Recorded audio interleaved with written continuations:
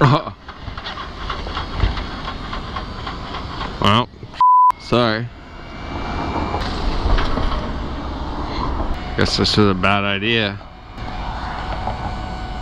Uh, move this to the side here.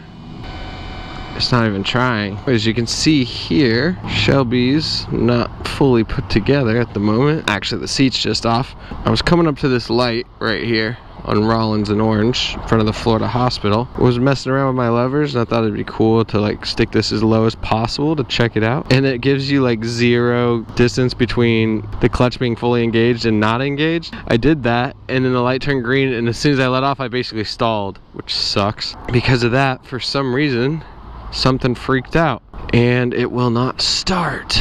I got it on, I press this, nothing happens.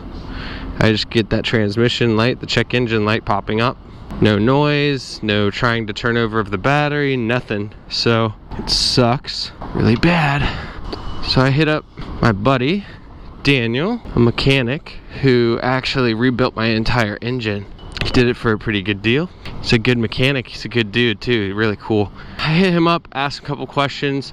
I already ran diagnostics on the bike. The only two error codes I was getting, neutral switch, which I've already known is broken, and then one for my lean angle sensor. So basically, I'm out of breath from pushing. It thinks my drop sensor is tripped for some reason. Because of that, it's not gonna allow me to start the bike.